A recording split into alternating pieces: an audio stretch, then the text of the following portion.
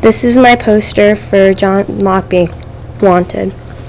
First, there he's wearing um, an anti-One Direction shirt to represent that he wanted to be free from British.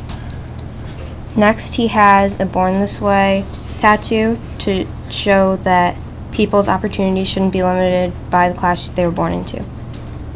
Next, there was a American flag to represent that affirming your consent, affirming your consent every time you see the pledge or vote. And next, there's the song "Change" that um, represents the need to change the circumstances of being controlled.